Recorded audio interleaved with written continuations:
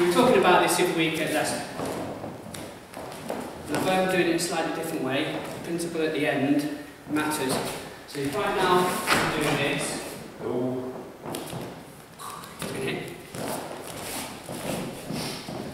as I bypass him, although I'm turning and throwing him this way, as I do this, I turn to face the way I'm throwing him.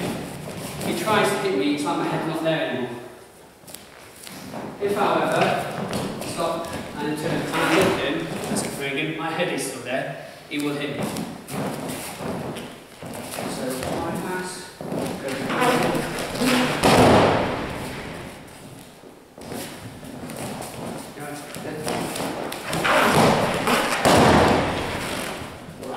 Yeah.